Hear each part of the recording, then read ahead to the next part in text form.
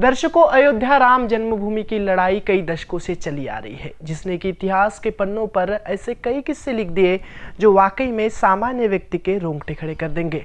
आइए डालते हैं एक नज़र राम जन्मभूमि के संघर्ष में इतिहास पर।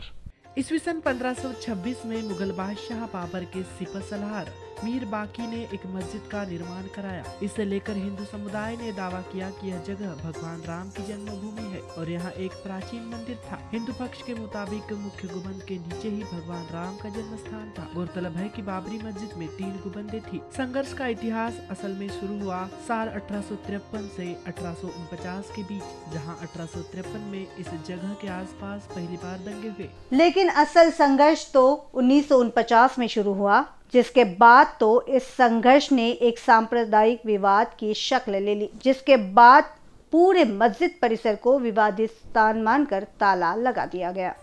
दरअसल साल उन्नीस से असली विवाद शुरू हुआ।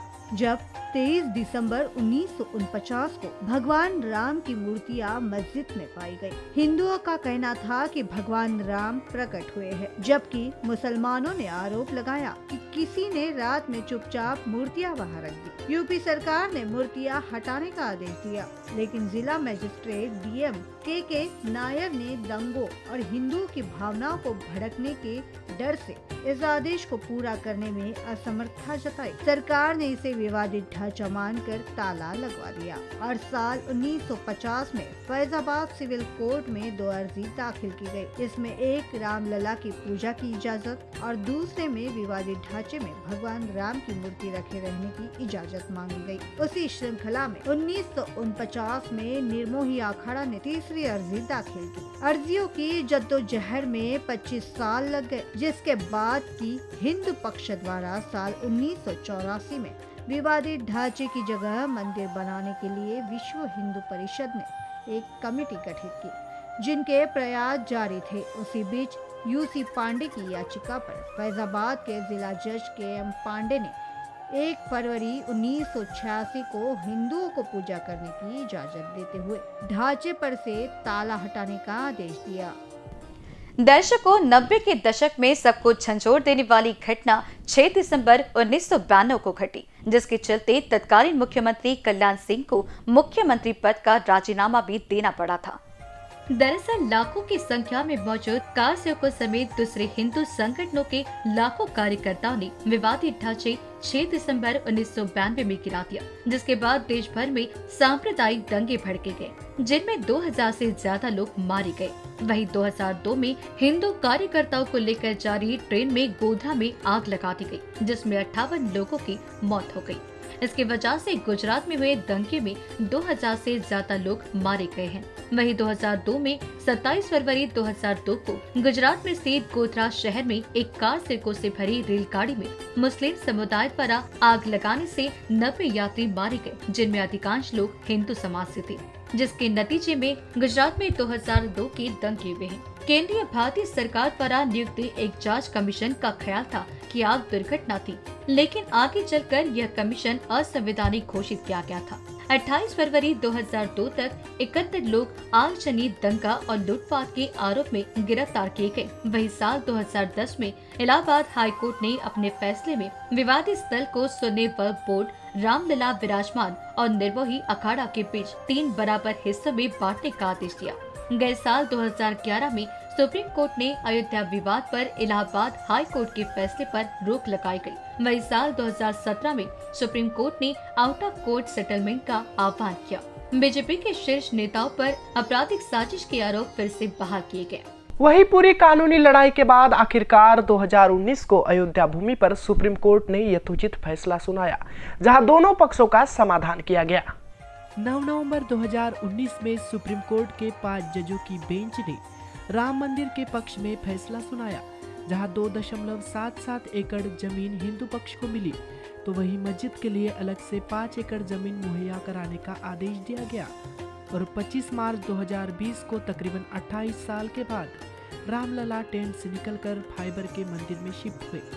5 अगस्त 2020 को राम मंदिर का भूमि पूजन कार्यक्रम। पीएम नरेंद्र मोदी, आरएसएस सरसंघ संचालक मोहन भागवत, यूपी के सीएम योगी आदित्यनाथ और साधु संतों समेत 175 लोगों को न्योता। इस समय दिया गया। अयोध्या पहुंचकर हनुमानगढ़ी में सबसे पहले पीएम मोदी ने दर्शन किया और राम मंदिर के भूमि पूजन कार्यक्रम में वह शामिल हुए और आखिरकार 22 जनवरी 2024 को रामलला की प्राण प्रतिष्ठा राम जन्मभूमि पर की जाएगी।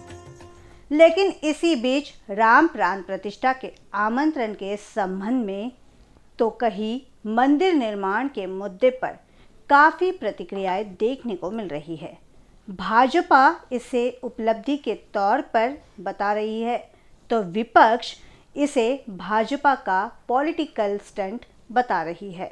उधर बीजेपी का कहना है कि राम मंदिर निर्माण राजनीति का विषय नहीं है यह एक स्वप्न के साकार होने जैसा है। 500 वर्षों की लंबी प्रतीक्षा के बाद प्रभु रामलला अपने भव्य मंदिर में विराज रहे हैं। यह बहुत ही प्रसन्नता का विषय है। अगर इससे कोई भी राजनीतिक लाभ की बात करता है तो इस राजनीतिक लाभ को लेने के लिए कांग्रेस और सपा को भी पूरी स्वतंत्रता थी। लेकिन इन्हें हमेशा मजहबी तुष्टिकरण दिखाई देता था। 20 फ़ीसदी वोट दिखाई देते थे। यह हिंदुओं के भीतर विभाजन करते थे। तो आज इनको पीड़ा क्यों हो रही है? बीजेपी प्रवक्ता राकेश त्रिपाठी ने कहा कि बीजेपी का जो पहले स्टैंड था, आज भी उसी स्टैंड के साथ खड़े हैं। तो वही समाजवादी पार्टी का कहना है कि बीजेपी हमेशा धर्म की राजनीति करके आई है। मज़हब के नाम पर फ़ायदा उठाना बीजेपी का पुराना तरीका है। हिंदू, मुस्लिम, अजान, भजन, कीर्तन जैसे मुद्दों पर बीजेपी वोट मांगती है।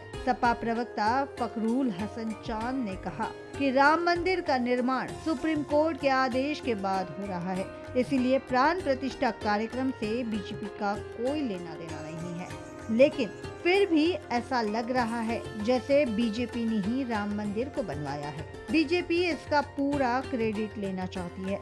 सपा प्रवक्ता ने कहा कि बीजेपी चाहे जितना लाभ लेने का प्रयास करे, लेकिन जनता पूछ रही है 2014 में रोज़गार देने, किसानों की आय दोगुनी करने और महँगाई कम करने का वादा किया था। उन वादों का क्या हुआ? ऐसा सवाल भी उन्होंने उपस्थित किया। वही कांग्रेस प्रवक्ता अंशु अवस्थी ने कहा कि जनता के हर मुद्दे पर मोदी सरकार विफल हो चुकी है। नौजवानों को रोज़गार नहीं मिला। किसानों को उनकी फ़सल के दाम नहीं मिल रहे। आम आदमी महँगाई से परेशान है। यह सभी मुद्दे आगामी चुनाव में मोदी सरकार पर भारी पड़ने वाले हैं। कांग्रेस प्रवक्ता ने कहा कि जनता को छलने वाले, जनता के मुद्दों से ध्यान भटकाने के लिए राम मंदिर का सहारा ले रहे हैं। लेकिन इस देश का नौजवान किसान, आम आदमी 2024 के चुनाव में अपने विकास के मूल मुद्दों पर मोदी सरकार से सवाल करते हुए वोट करने जा रहा है। ऐसी सम्मिश्र प्रतिक्रियाएँ भी राम मंदिर के मुद्दे पर देखने को मिल रही है।